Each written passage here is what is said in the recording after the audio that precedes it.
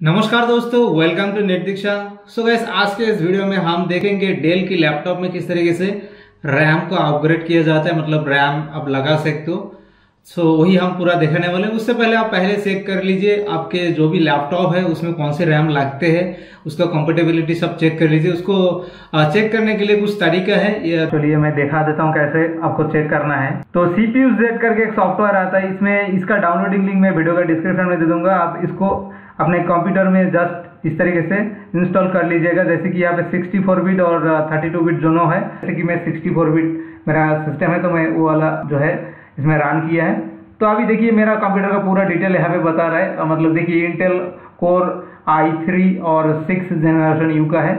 और यहाँ पे मैं आप देख पा रहा हूँ, यहाँ पे रैम कितना जीबी का है। तो यहाँ पे देखिए, यहाँ पे डी डी आर थ्री का रैम लगा है चैनल वन और बाकी यहाँ पे मदरबोर्ड कौन सी है? वो भी आप देख पा रहे हो डेल का ही है ये है मदरबोर्ड के नंबर रैम स्टिक लेके आया है एट जीबी का, जो मैं इसमें डालूँगा ऑलरेडी फोर जीबी है तो ट्वेल्व जीबी हो जाएगा। तो दोस्तों, ये है सैमसंग के रैम स्टिक जो एट जीबी है, और ये D D R three D D R three three तो मेरा जो लगा हुआ है, वो है मेड इन फिलीपींस और ये है मेड इन कोरिया और दोनों ही सैमसंग का जो लगा हुआ है उसको भी मैं अभी दिखाता हूँ खोलने के बाद वो भी फोर जीबी सैमसंग का है ये भी सैमसंग का है।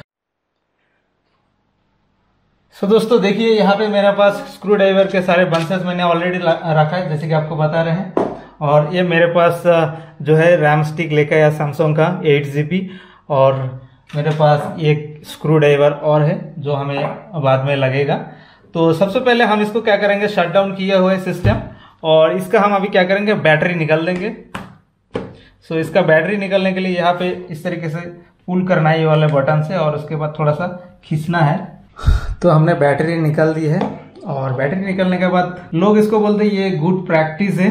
आपको बैटरी रिमूव करने के बाद इसको पावर बटन को दो तीन सेकंड के लिए प्रेस करके रखना है। सो so, ऐसे हम भी कर रहे हैं। जो भी इसमें पावर है वो पूरा एडजस्ट हो जाएगा। ठीक है? तो इसलिए हमने दो तीन सेकंड पावर बटन प्रेस कर लिया। अभी हो गए हैं। अभी इसको करेंगे ओपन इसमें सिंपली दो स्क्रू ही खोलना है हमें। तो पहला स्क्रू हो गया ये। खुल गया है।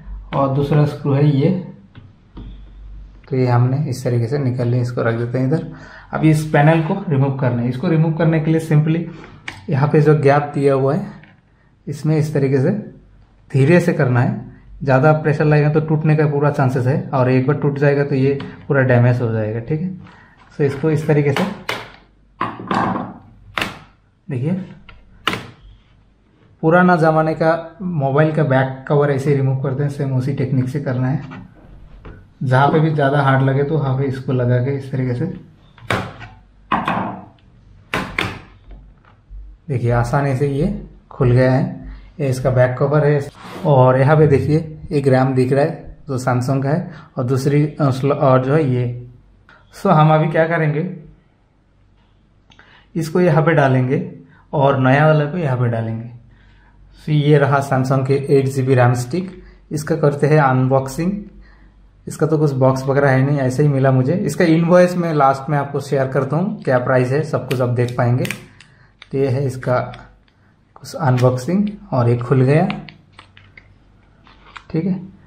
और हमारा ये है रैम तो एक चीज़ है कि यहाँ पे कुछ लिखा हुआ है। अभी क्या लिखा है, ये देख पा रहे मुझे नहीं पता है। कुछ इस टाइप का लिखा हुआ है। और जिस दुकान से मैंने लिया है, वो जेनुअन करके ही मुझे दिया है, क्योंकि मैं काफ़ी सालों से उनके पास से कोई कोई आइटम्स ले रहा हूँ। ठीक है? उसका लोकेशन वगैरह भी मैं आपको शेयर कर दूँगा वीडियो का डिस्क्रिप्शन में। चलो अभी इसको लगाते हैं यहाँ पे। इसको ओपन करने के लिए दो पिन है इस तरीके का। सिंपली थोड़ा सा इस तरीके से पुल करना है और वो रैम जो है बाहर आ जाता है। देखिए, जैसे इसको खींचेंगे, ऐसे बाहर आ जाता है। तो चलिए इसको रहने देते हैं यहाँ पे और इसको यहाँ पे डाल लेते हैं, नया वाले को।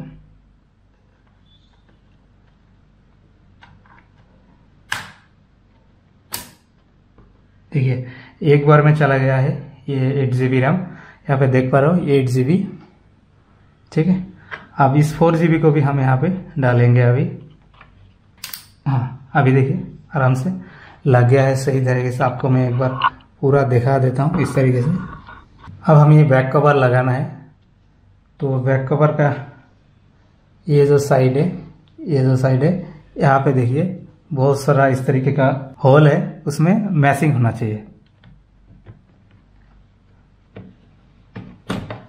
तो देखिए मैसिंग हो गया और ये हो गया।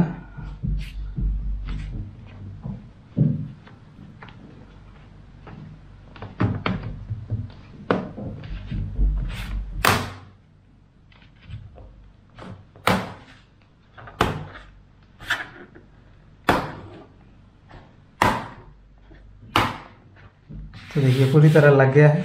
कोई पे भी ऊँचा नहीं है। अब स्क्रू दो स्क्रू टाइट करना है हल्का सा। और अभी दूसरे स्क्रू मैंने इधर ही रखा है। ठीक है, लग गया है। अभी हम बैटरी डाल देते हैं। बैटरी भी हमने ओपन करके रखा था तो बैटरी को भी डाल देते हैं।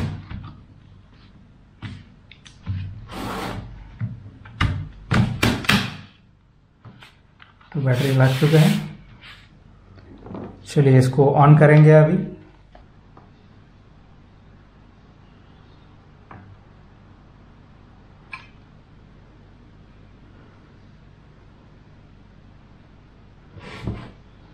अभी हमारा चार्जिंग हो रहा है। तो फाइनली देख सकते हो डेल का लोगो आ चुका है। शायद इसमें चार्जिंग नहीं थे और कुछ इस टाइप पे प्रॉब्लम होगा। देखते हैं आपके सामने ये डिस्प्ले क्या मैसेज दिखाता है। तो यहाँ पे message invalid configuration information please run setup program time time of day not set please run setup program alert the amount of system memory has been change यहाँ पे कंटिन्यू का ऑप्शन आ रहा है। और बायोस सेटअप्स का option आ रहा है और डायग्नोसिस का ऑप्शन आ रहा है। चलिए कंटिन्यू कर दिया मैंने। फिर से बूट हो रहा है। सो so, दोस्तों फाइनली आप देख सकते हो यहाँ पे। सिस्टम पूरी तरह चालू हो चुका है। तो चलो हम अभी जाएँगे सिस्टम में दिस पीसी और प्रॉपर्टी में। तो दोस्तों यहाँ पे देख पा रहे हो रैम इंस्टॉलेड बारह G B eleven point nine G B usable ठीक है? तो चलिए अभी इसमें जाके देते हैं ट्रांसफ़र में, और यहाँ पे जाते हैं। यहाँ पे जाने के बाद परफॉर्मेंस में जाते हैं, और ये है मेमोरी पूरा मेमोरी यहाँ पे मिल रहा है। यहाँ इतना यूज़ हो रहा है अभी फ़िलहाल। यहाँ पे भी दिखा रहा है twelve G B D D R three देख पा रहे हो आप? सो so, दोस्तों आपके सामने ये रहा इनवॉइस इसका प्राइस दिखा देता हूँ मैं आपको.